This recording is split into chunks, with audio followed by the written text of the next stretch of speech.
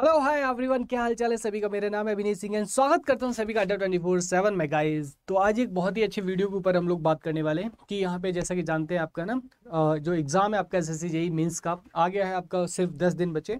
तो last moment में आप लोग क्या करें और क्या ना करें, इस बारे में आप आज हम लोग बात करेंगे, ठीक है? तो यहाँ पे देखिए वैसे तो आई होप आपकी पढ़ाई लिखाई अच्छी चढ़ी होगी बट स्टिल यहाँ पे लास्ट मोमेंट पे देखिए किन किन चीज़ों पे ध्यान देना है। सबसे पहले do not read the new topics है ना? नए टॉपिक्स के ऊपर अब आपको बहुत ज़्यादा ध्यान देने की ज़रूरत नहीं है। अगर आपको कोई बहुत लगता है कि नेसेसिटी है तो भले ही देख लीजिएगा बट मेरी एडवाइस ये है कि आप बहुत ज़्यादा जो आपके न्यू टॉपिक्स है, उस पर ध्यान देने की ज़रूरत नहीं है ना? तो इस चीज़ से थोड़ा सा बचने की कोशिश करेंगे आप यहाँ पे कि बहुत ज़्यादा आप जो है न्यू टॉपिक्स के ऊपर ध्यान ना दें। अदरवाइज़ होगा क्या यहाँ से कि जैसे मान लीजिए आपको टॉपिक आ गया तो तो ठीक है, लेकिन नहीं आए तो कॉन्फिडेंस लूज हो जाएगा आपका, है ना? तो इसलिए यहाँ पे जो न्यू टॉपिक्स है, उसके ऊपर थोड़ा सा कम ध्यान देंगे हम, ठीक है? नेक्स्ट यहाँ पे देखिए, जो सबसे यहाँ पे इम्पोर्टेंट मुद्दा है, वो आपका ये होना चाहिए। मतलब ये वाला जो मस्ट है ना मस्ट आपका यहाँ पे होना चाहिए कि अब तक आपकी यहाँ पे जो आंसर वाला राइटिंग स्क्रिप्ट है ना, वो आपको तैयार हो गया होगा। मतलब यहाँ पे आप जो आंसर लिखने वाले हो मेंस में, वो किस फॉर्मेट में लिख रहे हैं ना?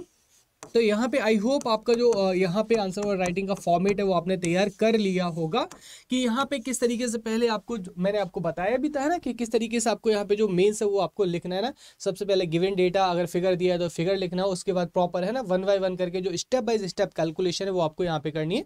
तो यहाँ पे जो स्क्रिप्ट है वो आपने तैयार कर ली होगी एंड ध्यान रहे, यहाँ पे आप जो भी लिख रहे हो ना प्लीज़ नीट एंड क्लीन इस चीज़ का ध्यान रखें।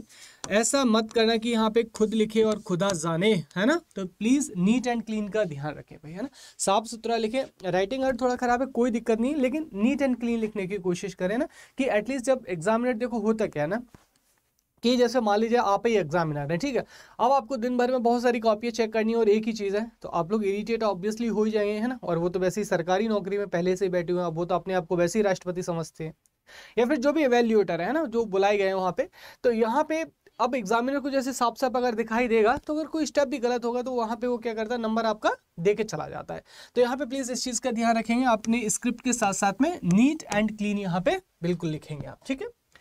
Now revision most important thing यहाँ पे जो भी सब्जेक्ट है आपके मशीन हो गया आपका, है ना? आपने सिलेबस देखा ही होगा पावर सिस्टम हो गया हमारा नेटवर्क हो गया हमारा, ठीक है? तो यहाँ पे ज़्यादा से ज़्यादा इसका रिवीजन करेंगे।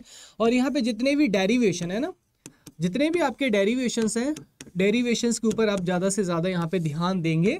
मस्ट कंडीशन है ना स्टार मार्क कर लेंगे। जैसे कि यहाँ पे अगर बात करें, जैसे मशीन में है ना, जैसे इंडक्शन की बात करें तो यहाँ पे rotor circuit parameter transformer efficiency maximum efficiency का डेरिवेशन ठीक वहाँ पे अगर जैसे एमआई की बात कर लें ना मेज़रमेंट की बात करें तो पीएमएमसी में जैसे है ना डिफ्लेक्टिंग टॉर्क हो गया हमारा और मूविंग आयरन में हो गया, ये सारी कॉमन चीज़ है। जैसे कि पावर फैक्टर वॉट मीटर वगैरह है ना, ये सारे बहुत कॉमन टॉपिक है जो कि एस एस में पूछे ही पूछे जाते हैं। तो इन डेरीवेशन पर आप ध्यान देंगे, ठीक है? तो यहाँ पे ये बहुत इंपॉर्टेंट चीज़ है, इसके ऊपर आप क्या करेंगे यहाँ पे ध्यान देंगे ओके एंड यहाँ पे देखिए, अब आपको करना क्या है, और यहाँ पे जो लास्ट के दिन बचे हैं ना, सबसे पहले कूल एंड काम है ना? बहुत ज़्यादा आपको प्रेशर नहीं लेना है यहाँ पे।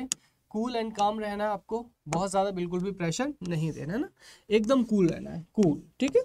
कूल रहिएगा और यहाँ पे सिर्फ़ क्या करना है, आपको रिवीजन करना है।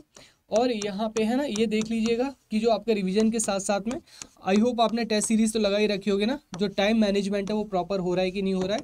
कैलकुलेटर अलाउड रहता है तो एक बार कैलकुलेटर जो अलाउड उसके सारे फ़ंक्शन देख लीजिए, किस तरीके से आपको कैलकुलेशंस करनी है, ठीक है? तो ये कुछ आपके लिए टिप्स हैं आपके, है ना? और यहाँ पे जो मैं डेली अभी आपकी जो सेवन थर्टी है ना सेवन थर्टी पी एम पे यहाँ पे जो मेंस की क्लासेस है वो आपको लेता हूँ डेली, है ना? तो वहाँ पे आप ज्वाइन कर सकते हो और इसको देख सकते हैं, पूरा प्लेलिस्ट बना हुआ है कि किस तरीके से आपको जो डेटा है वहाँ पे रखना है, किस तरीके से क्वेश्चंस को आपको सॉल्व करना है, ठीक है?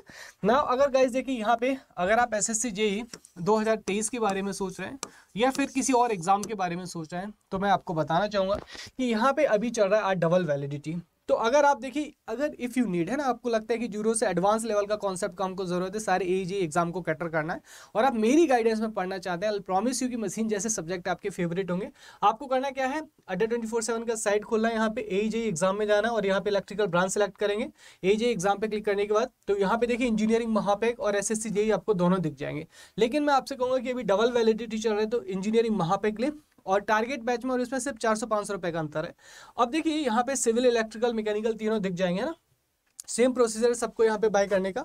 ये जो प्राइस आपको साढ़े चौदह हज़ार ये बिल्कुल नहीं देना है। अब देखिए, यहाँ पे आपको एक मैं मेजिकल कूपन कोड बताता हूँ।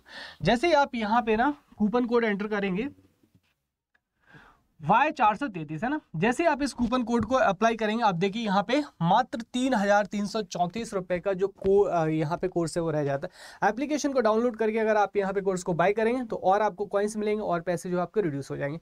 लेकिन ध्यान रहे कि ये जो आपको कोड यहाँ पे दिखाई दे रहा है ना दोस्तों, ये जो कोड है ना वाई चार सौ तैतीस है ना? वाई चार सौ तैतीस, अगर आप कोई दूसरा कोड को यूज़ करेंगे तो आप मेरी गाइडेंस से बाहर चले जाएँगे। आप मेरा कोड यूज़ कीजिएगा, जहाँ पे आप डेली मुझसे कम्युनिकेट कर सकते हैं, जो भी प्रॉब्लम उनको डिस्कस कर सकते हैं ना? पढ़ाना तो मुझे ही है आपको। तो यहाँ पे आप यही कोड यूज़ करेंगे वाई चार सौ तैतीस। अब देखिए यहाँ पे जो आपका महापैक है, इसमें होगा क्या?